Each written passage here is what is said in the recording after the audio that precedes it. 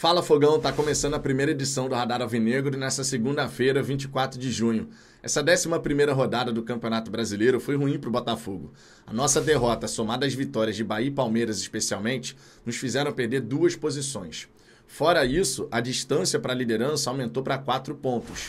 E algumas equipes conseguiram encostar no G4. É o caso, por exemplo, do Red Bull Bragantino, nosso próximo adversário que teve grande dificuldade para confirmar o resultado diante da equipe do Vitória, jogando em Bragança Paulista, mas está aí agora dois pontos do Botafogo. O Botafogo, que por sinal está nesse período de oscilação. Infelizmente, a gente não tem conseguido manter um bom nível de performance nas últimas três partidas. Vencemos o Grêmio ainda assim, que foi um resultado muito importante. Empatamos com o Atlético Paranaense no apagar das luzes. Atlético Paranaense que vem sofrendo os gols no fim aí nos últimos três jogos.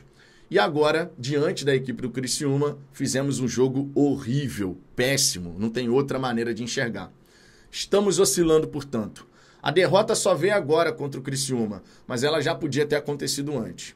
O Arthur Jorge, portanto, ele precisa conseguir ajustar e colocar a equipe novamente nos eixos.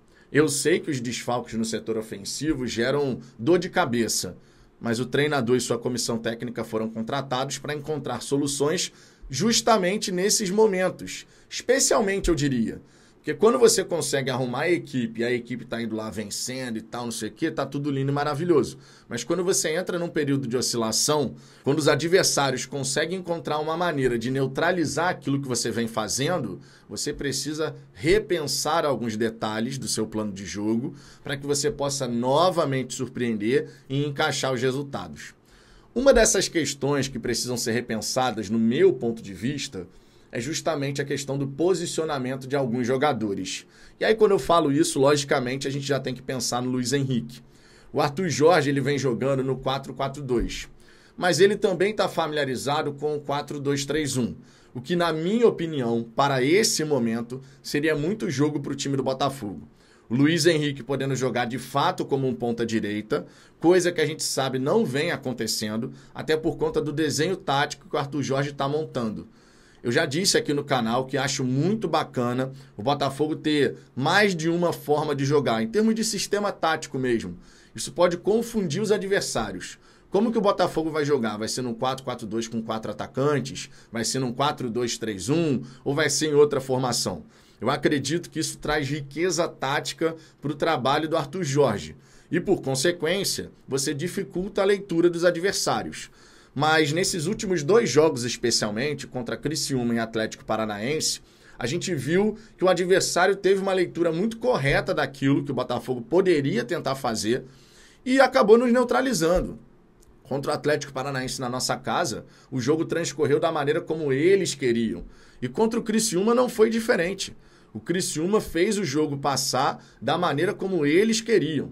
E mesmo depois, quando o Botafogo empatou, o tanto de espaço que a gente deu, apresentando uma desorganização tática é, bizarra, dá para falar dessa maneira, porque tinha espaço como se fosse fim de pelada ali, né? O Botafogo simplesmente estava completamente desordenado no campo de jogo. Não à toa a gente acaba sofrendo o gol que dá a vitória para o Criciúma. Tudo bem que tem um erro ali, é o Romero naquele lance erra feio pra caramba, mas antes disso já estava pedindo para tomar o gol. Então a derrota para o Criciúma, ela foi justa. Não tem como a gente encarar de outra maneira. Diante do Red Bull Bragantino, a gente vai precisar buscar esse resultado. E o Braga ele costuma ter um time muito intenso, o que é um ponto que chama bastante a atenção. Quando a gente fala de intensidade, isso no time do Botafogo deu uma baixada nítida, mas muito nítida. E a gente vai precisar aumentar esse nível de intensidade, porque se a gente quiser competir, se a gente quiser buscar esse resultado, vai ter que superar as adversidades. É verdade que o time do Botafogo está apresentando um desgaste. Parece que depois daquela intensidade louca que a gente colocou contra o Fluminense, parece que a gente chegou no nível de esgotamento. Essa é a minha sensação, não sei qual é a sua. A minha sensação é de que a partida contra o Fluminense, no nível de intensidade que a gente botou, levou o time a um, nível, a um grau de esgotamento que chama bastante a atenção. Porque o time que jogou contra o Fluminense naquela intensidade difere completamente do que a gente teve na sequência. O Botafogo precisa conseguir recuperar seus jogadores. O Botafogo precisa saber se virar sem algumas peças, porque sim, temos desfalques. Por exemplo, para essa partida contra o Bragantino, o nosso setor ofensivo ele está todo desmantelado. Eu não sei se o Júnior Santos vai estar tá apto para jogar. Saiu de muleta lá de Criciúma e tal, não sei. Alguma coisa ele sentiu, eu espero que não tenha sido nada demais, mas alguma coisa ele sentiu. Você pode ter para o jogo contra o Bragantino é o Tiquinho, Eduardo, Luiz Henrique, Diego Hernandes. E só, para por aí. Se o Júnior estiver disponível, mais uma peça. Um desses aí que eu falei antes, um desses quatro, pode ir para o banco de reservas, provavelmente o Diego Hernandes. Mas se você parar para pensar naquilo que o Arthur Jorge vai ter disponível para montar o nosso setor ofensivo para essa 12 rodada do Campeonato Brasileiro, é muito pouco. A gente vai ter o Yarlen e o Fabiano no banco de reservas, o que não resolve nada, todo mundo sabe disso. São dois garotos que não estão prontos ainda para assumir essa responsabilidade no profissional. Então é um ponto importante. O Arthur Jorge tem um desafio pela frente. E é nessas horas que ele precisa mostrar a capacidade que possui. Eu confio plenamente no trabalho do Arthur. Plenamente. Ele chegou conseguindo fazer o Botafogo obter resultados muito bons. Vencemos quatro grandes do futebol brasileiro nesse período. Perdemos para Bahia e Cruzeiro e empatamos com o Atlético Paranaense. Esses resultados que a gente obteve nesses confrontos contra os times mais importantes do campeonato foi muito bacana. Muito bacana.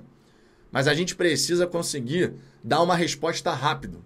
Porque no Campeonato Brasileiro, ainda mais prometendo ser um campeonato tão acirrado nessa briga pela ponta da tabela, e quando eu digo tão acirrado, eu estou falando justamente de margem mínima de erro. Contra o Criciúma, a gente cometeu um erro que pode custar caro.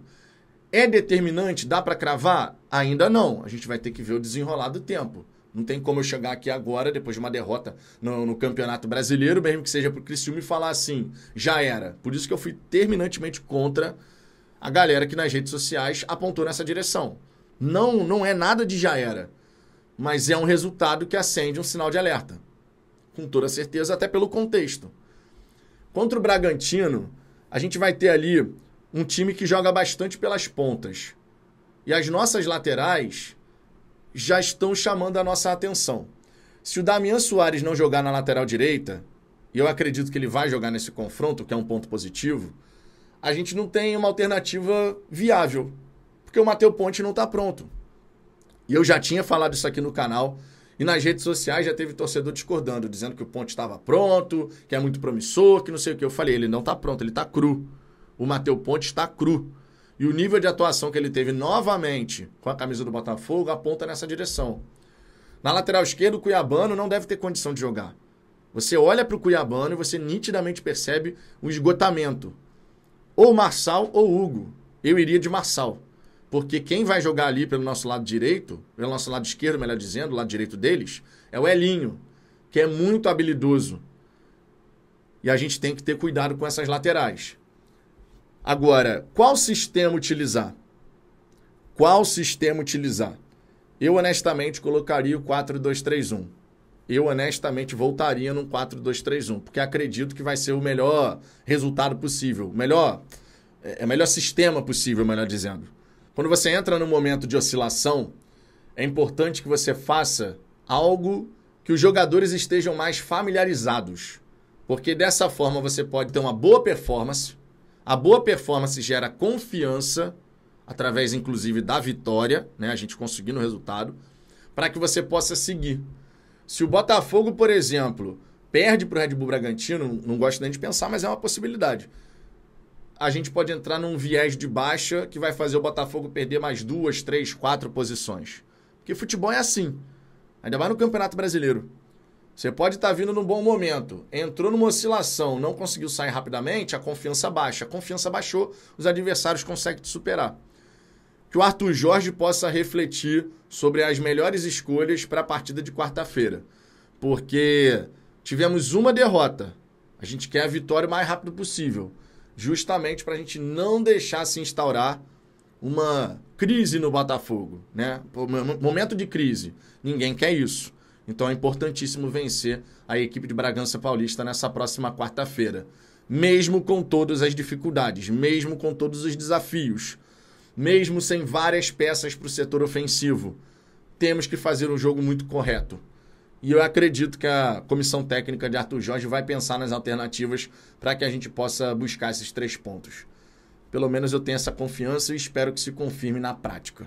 Fogão, 12 segunda rodada, estamos a quatro pontos do líder, mas precisamos nos manter nessa, nessa pegada aí, nessa corrida, porque a distância tem que ficar administrável. Se começa a aumentar muito, aí você tem que ficar correndo atrás do prejuízo e sempre vai dificultar. Qual a sua visão para essa próxima rodada, onde Botafogo encara Red Bull Bragantino, Flamengo visita o Juventude e Palmeiras visita o Fortaleza? Fora, claro, a equipe do Bahia. Eu não me recordo aqui qual é o jogo do Bahia na sequência, mas a gente pode pesquisar. É o Vasco, lá na Fonte Nova. Fonte Nova, onde o Bahia tem 100% de aproveitamento, acredito que mais uma vez o tricolor baiano vai sair vitorioso. Ou seja, pode ser uma rodada onde o Botafogo vai ter que administrar só. Mais uma rodada, mas se mantendo no G4. De repente você vai ter vitória de Bahia, Palmeiras e Flamengo. Então o Botafogo não pode vacilar. Até porque se vacilar, sai do G4. É bom que se diga. Deixe seu comentário aqui embaixo, Fogão. Quero saber a sua visão sobre isso. E naturalmente, volte daqui a pouquinho aqui no canal, que vai ter muito mais conteúdo sobre o Botafogo. Fechou? Um grande abraço e até a próxima.